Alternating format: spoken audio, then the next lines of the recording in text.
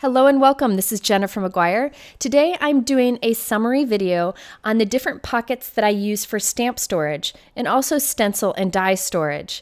New po pockets have come out recently. I've updated what I used and a lot of people have been asking, so I wanted to do an updated video. Now, keep in mind there are many different things that you can use for storage. I'm just sharing the ones that I like the most and that are available from our favorite craft stores. I spent several days pulling this information together so I can give you all the details that you need in order to decide if any of these storage systems are right for you. Now, I'm going to talk about regular stamps, tall stamps, large stamps, background stamps, dies, small stamps, and stencils. So, there's a lot of information here. Be sure to head to my blog where I'll have even more detail, including costs and sizes and so on and so forth. Be sure to check that out because it's kind of a nice summary, and I also tell which of all the different options are the ones that I happen to use every day. I will also talk briefly about the containers I use.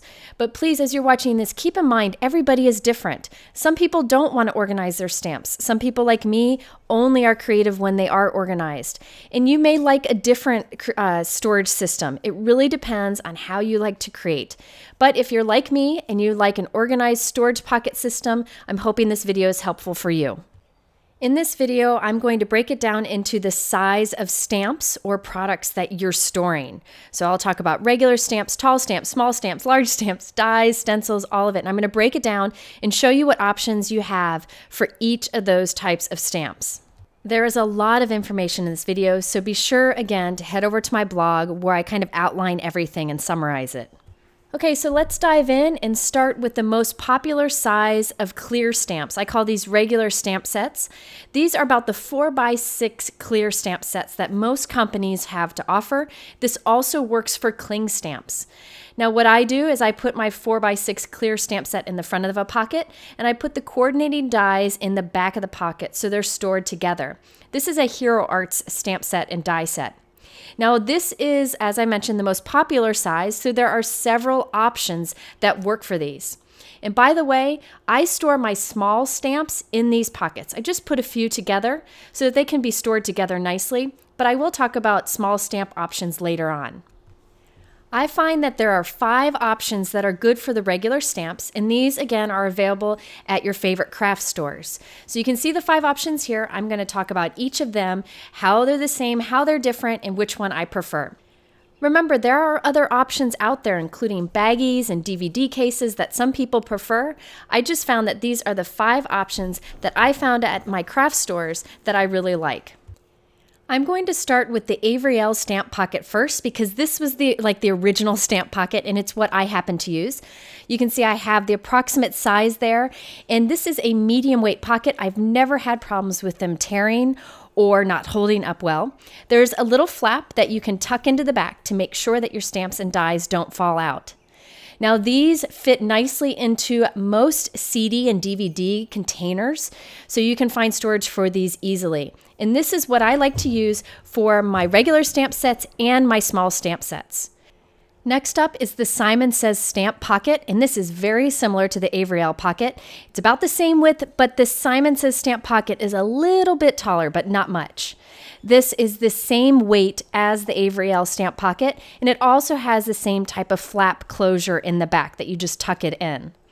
Now, Simon says stamp pockets come in a bigger pack than the Avery Elle, so that might make a difference to you also. And I should mention there are price differences between all of the pockets that I talk about. And since the prices vary based on where you get them, I'll just share some of that information over on my blog if that's helpful for you. Okay, so the next stamp pocket that we're going to share here is from My Favorite Things. Again, this is very similar to that Avery Elle, the first one I showed you. Same weight, and it's got the same type of closure in the back. Now, the My Favorite Things are a little bit wider than the Avery Elle. So these are all pretty close, but there is a slight difference in case that makes a difference to you with the container that you like to store these in. So the My Favorite Things large pockets are available in packs of 50, and I think you can only get them on the My Favorite Things website. So uh, be sure to check those out for another option for regular stamp sets. The fourth option for regular stamp sets is the Essentials by Ellen storage envelopes. These are only available on Ellen Hutson's website. These are similar in size to the pockets that I've shown you, but the big difference is that these are heavier weight in comparison to the other pockets. So I call these heavyweight storage envelopes. They have a similar closure on the back where you just tuck a little flap in. These are great quality. I know a lot of people prefer that. And the nice thing is, any Essentials by Ellen stamps that they create themselves, they have their own line of stamps, come in these pockets. So they come ready to store. So the final option for regular stamps are these stamp pouches from Sugar Pea Designs. These are newer than most of the pockets that we've seen. Now these are a little bit bigger than the others and they are heavyweight like the Essentials by Ellen. But the difference here is these have like this reinforced edge and even a rounded corner on the bottom. So I would say that these are the highest quality of all the stamp pockets. You may feel that you want that higher quality or not. It just depends on the person. But these are really good, good quality. Maybe you could get some of these for some of your favorite, most used stamp sets so you can be sure that they hold up nicely. Again, there is a flap that closes it by tucking into the back. So that wraps up the stamp pockets that are available for regular stamps. So there's five options here. Of these five options, the one that I use is the first one, the Avery Elle, since that's the original. I will have all the details on my blog about these. Again, I keep my smaller stamps in these pockets also, and even my large dies, but I'll talk about that in a moment. This brings us to storage for tall stamp sets. There are a few stamp companies out there that have taller stamp sets available. So they're the same width of a regular stamp set, but just a bit taller. My favorite things is one of the companies that makes several stamps in this size. Now you could store these in your regular stamp pockets. This is an Avery Elle stamp pocket and just have it stick out the top. I did that for quite a while, but I decided I wanted something just for my tall stamps. So there are three options that I'm going to share with you today for these tall stamp sets. The first one is new and it's from My Favorite Things and it is designed to hold this size of stamp set. And it looks just like the stamp pockets from that I showed you earlier, just taller.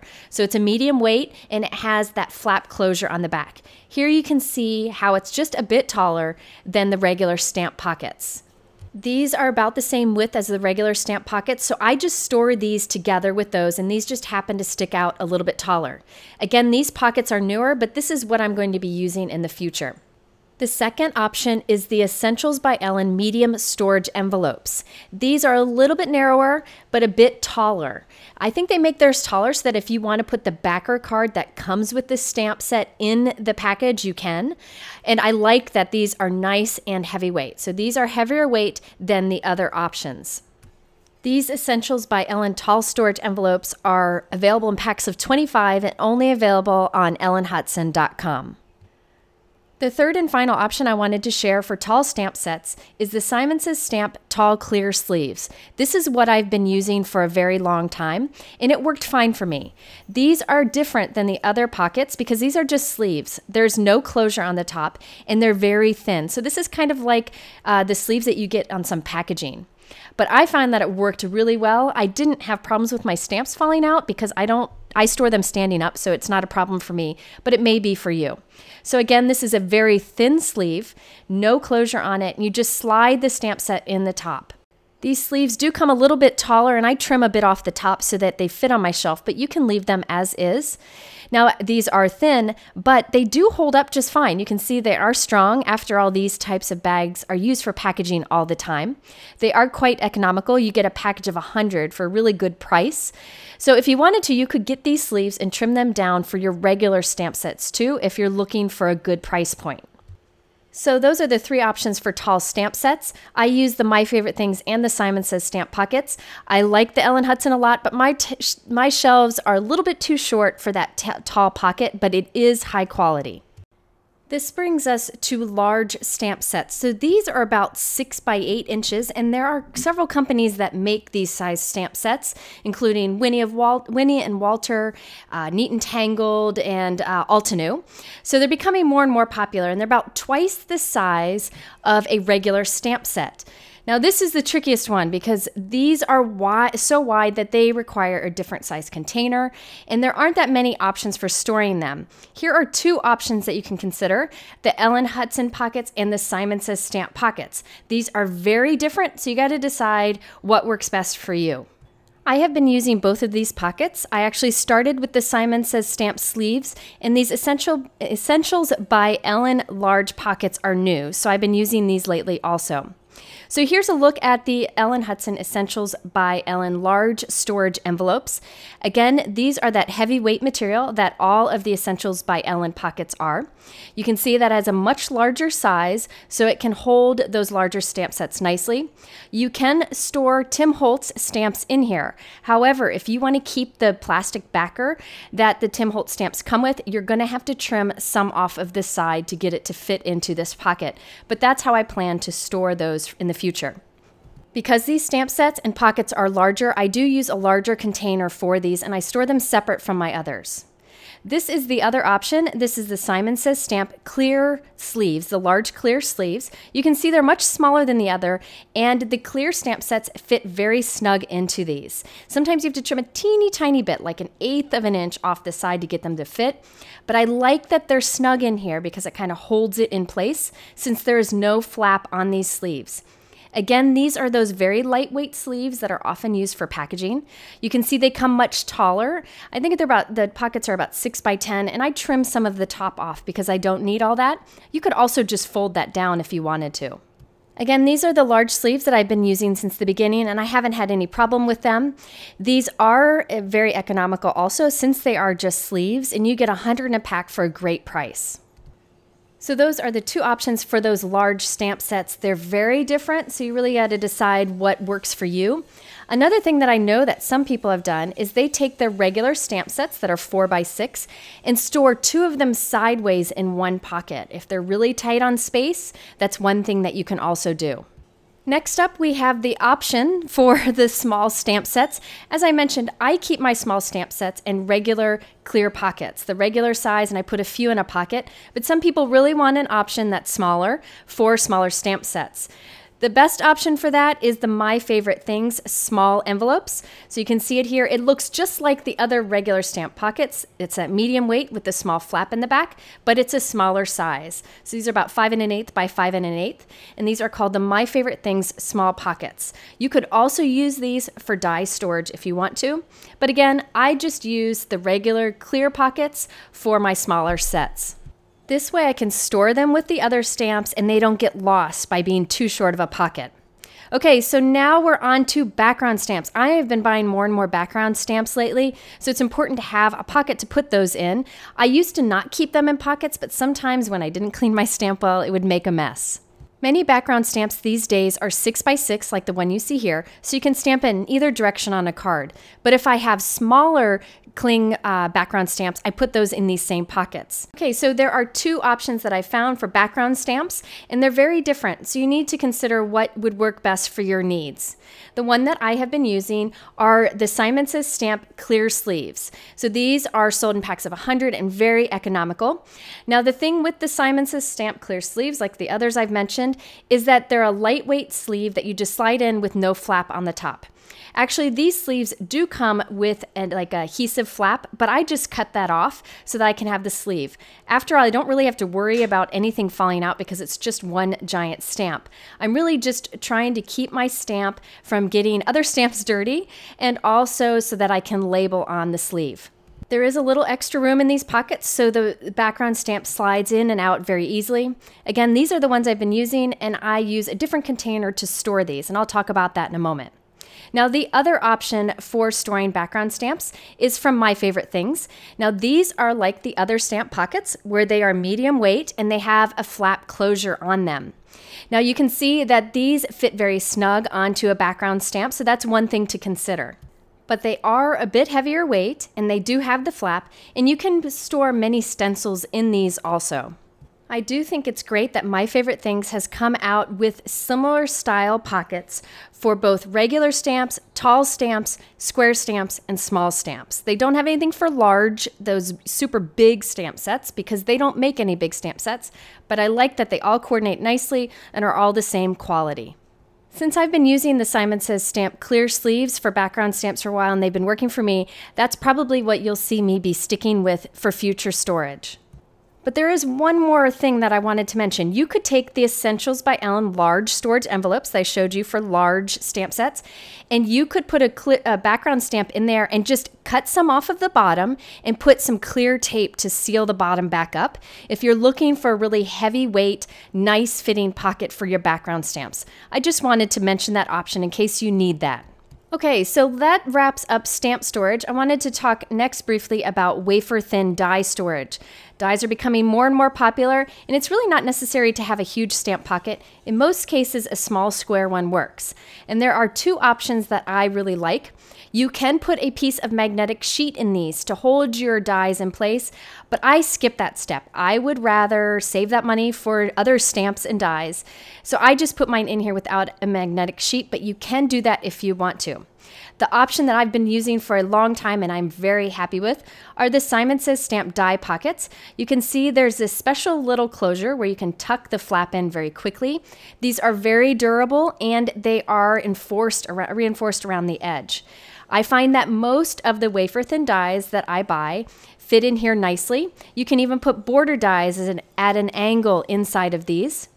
If my dies don't fit into this square pocket, I do use a regular clear stamp pocket for those larger dies, but most do fit into this pocket. Now the price point on these Simon Says stamp die pockets is really great. I've been happy with the qualities uh, of these. I've been using these for years, and I do have a container that I like to store all these die pockets in. Now here's a comparison to the Avery Elle stamp pockets that I use for my clear stamps. That's why I put my bigger dies in, but I wanted to show you how they compare. Now another option for your wafer thin dies is the My Favorite Things small pocket. This is what I showed you earlier for small clear stamps. It's just a little bit bigger than the Simon Says stamp pockets. This has that medium weight material and that little flap that you tuck in the top. And these would work great with your wafer thin dies also. And again, you can cut small pieces of magnet magnetic material to put in here to hold your dies to keep them from kind of running around in the little pockets. However, I choose to skip that to save the money and just throw all the, uh, all the dies in the pocket together. This brings us to stencil storage options. Um, stens- I'm talking about the type of stencils that most card makers use. They're usually six by six and smaller, so keep that in mind. There are bigger stencils out there, but I use mostly six inches by six inch stencils. So I'm going to show a couple different options for those stencils. The one that I've been using for some time now are the Simon Says Stamp Stencil Clear Sleeves. And these are like the other clear sleeves I've shown you, where it's lightweight and there's no closure on it. You just slide the stencil in. Now this pocket I happen to be using is a little bit smaller than the sleeve that I use for background stamps, but you could use that instead for the stencils if you want to. Okay, so these sleeves, again, you just slide the stencil in the top. I have that white cardstock insert for support.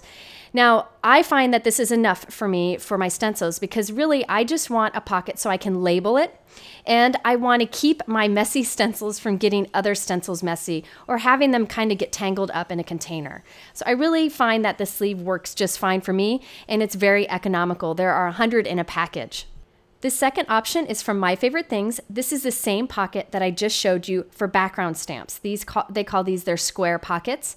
And you can see it's a little bit narrow compared to the Simon Says stamp sleeve but you can slide your stencil right in there. It's a nice snug fit. It has the closure on the top and it's a little bit heavier weight. So this is another option for stencils. If you have stencils that are a bit bigger than six by six, they won't fit in this. This is great for a six by six or smaller stencil. So those are the two options that you could probably use for most of the stencils that you may have. One is a thin sleeve and one is a more durable pocket with a flap. Okay, so that wraps up the little stamp pockets for all these different products. There's so many, but I wanted to be able to show you a comparison so you can decide what might work best for you. Remember, you can store different things in different pockets. You can mix these up a bit. I just find that the options that I chose as my favorites are the ones that work for my system. So you want to think about what works for you. I am so thankful to these stamp companies for making these pockets available for us so that we don't have to go searching at different stores for different things. We know what will work perfectly for our needs. Okay, so now let's talk a little bit about storing these. Now that we have all of our products in them, there are so many storage solutions you can use, recycled boxes, whatever bargain bit containers you can find. But I thought I'd share what has worked for me, and I know many have you, of you have tried and like also. I like the line of InterDesign uh, containers. The ones that I use for my clear stamps are fridge bins and they have two sides to each compartment and they're super, super strong, high quality. You can put these on shelves or in drawers, whatever you want. I have mine in pull out drawers in large cabinets in my office. Now, this, job, this uh, hobby is my job, so I have a lot of stamps because they're tools for what I do. I divide my stamps up by manufacturer, but I think if it were my hobby, I would probably divide them up by theme. The dividers that I use in these are actually cut up plastic folders, but you could cut up cardstock or chipboard or recycled materials for your dividers, or even laminate some paper. I label everything so I can quickly find what I need, and you would be amazed how many stamps you can put in one of these containers.